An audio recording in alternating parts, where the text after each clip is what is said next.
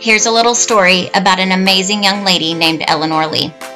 This beautiful baby girl was adopted at three weeks old in Los Angeles, California, and experienced health problems almost immediately. Her parents noticed she seemed unhappy and uncomfortable, and she was late in reaching milestones. They got help from doctors to understand, and they kept assuring them that she would grow out of it. She didn't sleep well, and as a toddler, she preferred to be alone.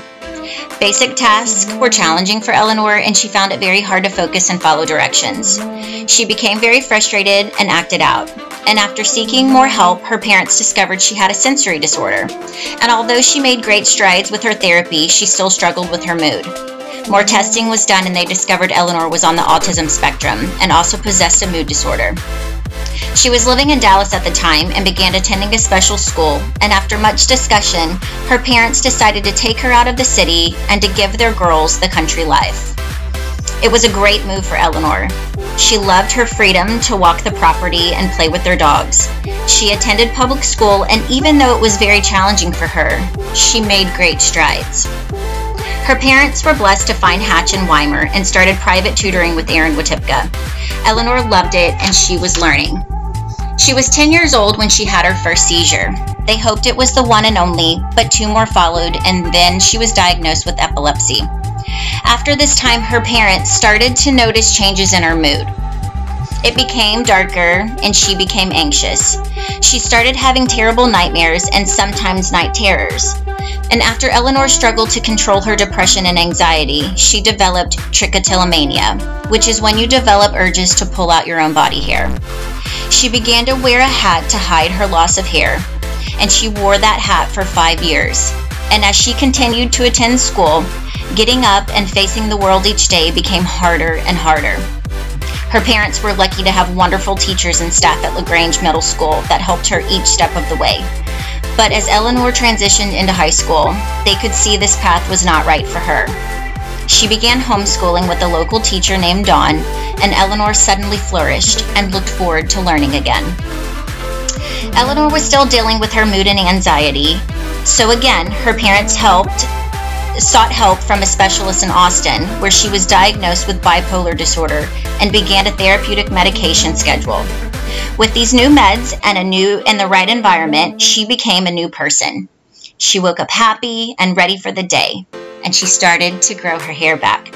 She looked forward to socializing with her friends at And Then, and Eleanor finally had the opportunity this year to enroll in the And Then Young Adult program. She absolutely loves it, and it gives her a purpose, a self worth, and the opportunity to be part of a group. Eleanor always loved coloring. She was fascinated with the big box of crayons. She would draw a cute dog or a pretty flower and her parents enrolled her in an art class with Terry Eiler. She loved going to her country studio and making art. Terry saw her potential and guided her into making very pretty artwork. They noticed that when she became a teenager, she started sketching faces. These weren't your standard straightforward looking at the camera faces. They were unusual, interesting, unique, and kind of funky. Her parents also started to notice that Eleanor would take one or two of her sketches when they would leave the house, as if they comforted her. Terry felt Eleanor had a talent and a unique vision. She encouraged Eleanor to continue, and Eleanor drew more and more faces. She began giving them names and continued to carry them with her when she left the house. The pictures seemed to be her friends. And when Eleanor would attend and then events, Aaron started to notice these faces and she was intrigued. She commissioned Eleanor create a set of faces to be featured in her new venture, Jack and Mary's, and the customers loved the paintings. Her supportive sister even got a tattoo of one of these amazing faces. How cool is that? Eleanor's painting sessions are a type of therapy for her. She loves this time. This is her time to be in her element, to reflect, to process, and to just do what she loves. It really is an amazing process. Take a little look.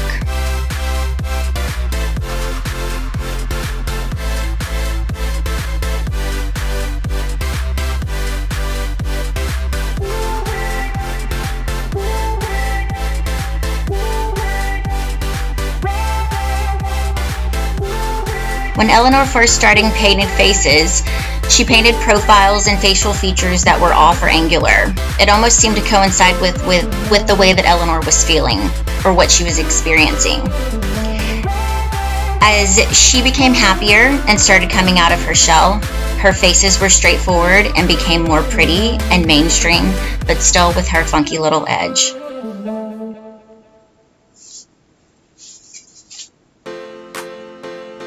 Through her vivid colors and distinct lines and abstract faces, Eleanor illustrates her understanding of others and of herself. Challenged with feeling misunderstood, art became a form of communication for her. She's not just painting faces, she's painting her friends, her circle of comfort. Each face portrays a unique expression and personality, offering a glimpse into a world where imagination and personal emotion are intertwined. Much like her paintings, Eleanor exhibits passion, empathy, wisdom, spirit, and mystery.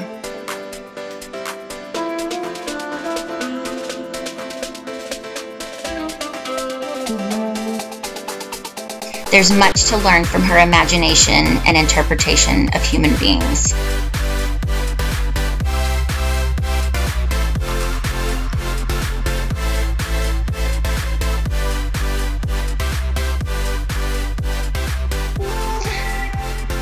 Eleanor, when we first started this, you told me you wanted to be a local celebrity.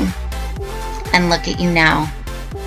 Sweet girl, remember, you are always enough, and we love you so much.